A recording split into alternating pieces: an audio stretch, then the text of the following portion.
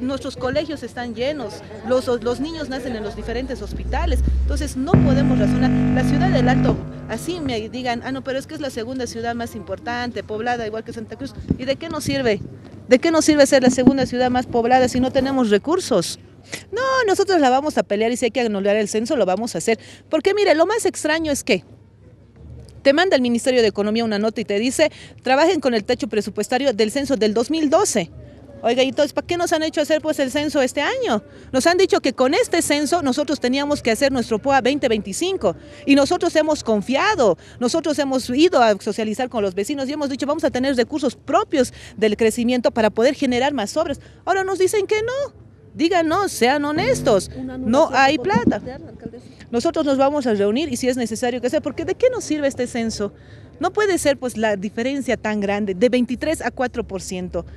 Entonces, ¿cómo ha crecido las zonas urbanas?